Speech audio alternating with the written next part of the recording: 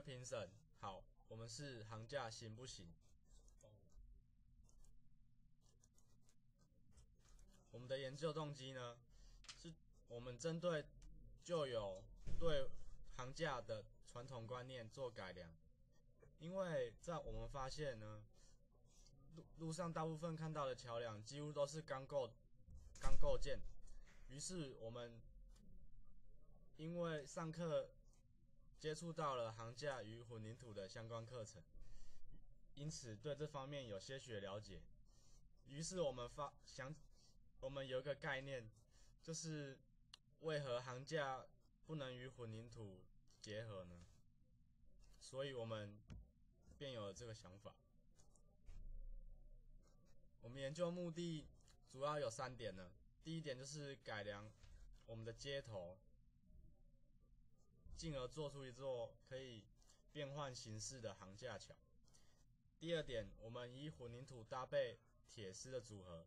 加上接头多样性，可以做出一种颠覆传统思想的行架。第三点，我们以接头配合圆铁棒与螺栓螺母固定杆件，使它成为二力构件，在抗压方面会更更加的强大。这是我们的研究设备，其中比较特别的就是我们的模具。我们的杆件为了能让人在上面行走，于是我们让每根杆件都维持在长度一百八十公分左右，这样也以便我们的模具制作。然而，我们的杆件断面则是一公分乘一公分的方形断面。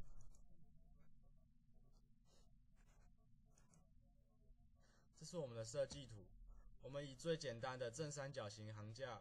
来作为我们这次的研究，这是我们杆件分布图，在上面在图上可以看到，我们突出的杆件会有些许的差异，这是因为配合我们接头与杆件所做的特别设计。然后这是我们的接头立面图，我们总共有三种不同的接头来配合不同的位置。然后这是用 Schedule Up 画出来的行架 3D 图，这就是我们接头的 3D 立体图。好，这是我们行架的制作过程。我们分别灌了两次的浆，然后首先是利用水灰笔来计算混凝土的用量，以方便日后计算它抗压强度。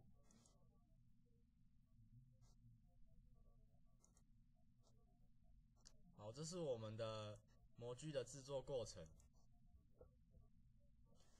在步骤八，我们分别在我们在滑丝上钻了三个洞，这样子我们可以在里面拉铁丝，增加它的抗拉强度，并且在内外都锁了螺母，以固定它。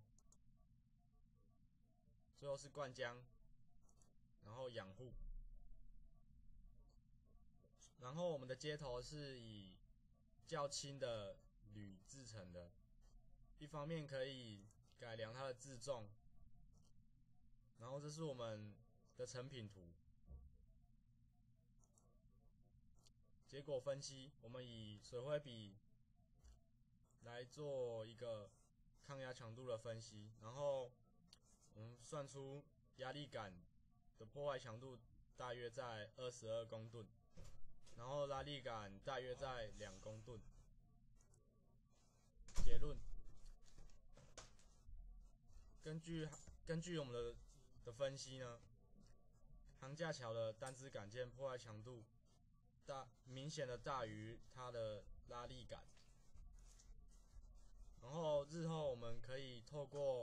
不同的接头设计搭配圆铁棒，然后做出更多样性的行架桥。我的报告到此结束，谢谢各位评审。